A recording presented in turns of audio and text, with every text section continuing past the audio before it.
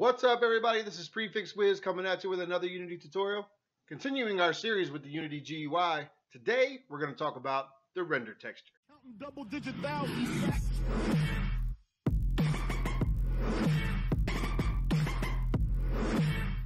Render textures. Okay, let's go ahead and open up Unity.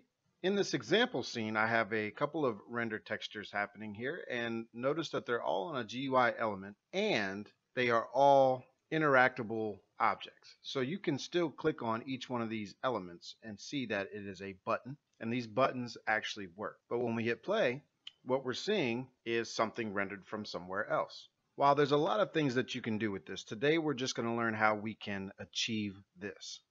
So let's go ahead and clear everything. Okay, so we're going to start from scratch and all we're going to do is create a panel and we're just going to create one button. Let's go ahead and rescale that so we can see it very clearly and let's just go ahead and center it. So as you can see it's a button but what we're going to do now is create a 3D object. We're going to create a cube out in 3D space. Let's go ahead and set it its position to 0, 0, 0 so we know how to find it. This is our cube. Now in another tutorial, we'll cover a couple of coding things, but for now, I already have a rotate script that I created. I'm just going to put it on it and say spin left. So if we were to hit play, it's going to spin. Okay, so let's go ahead and make that spin, and let's go ahead and put 5 on it.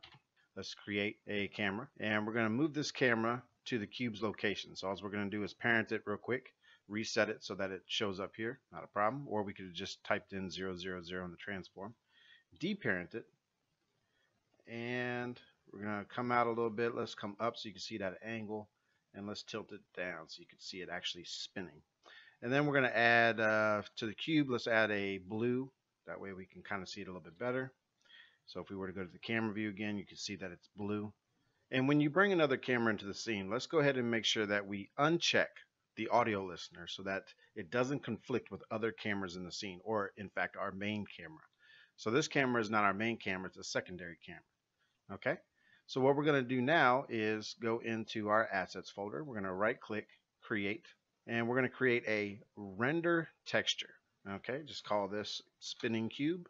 So once you name that spinning cube, all you're going to do is click on the camera that we created that's viewing the cube. You're going to drop the render texture right here inside target texture. And once that's done, then we're going to go back up here to the button. This is the easy but important part. We have to remove the normal image script. So let's remove component and then we're going to come down here and you can see that there's no image here. There's nothing to, to display the button. But what we want to do is add a component and that component is going to be if you come down to UI raw image and under raw image it's going to say texture and now you're able to actually place the render texture that you created into the texture spot. So now it's displaying what that camera is seeing. So let's hit play and there you have a button and it is still operational, but it is displaying what something else is saying. And that is render textures in a nutshell. All right, guys, as always, I hope that this helped you. I hope that you learned something here today. If you didn't, I'm sorry, but maybe it's just a refresher for you. But if you did, great.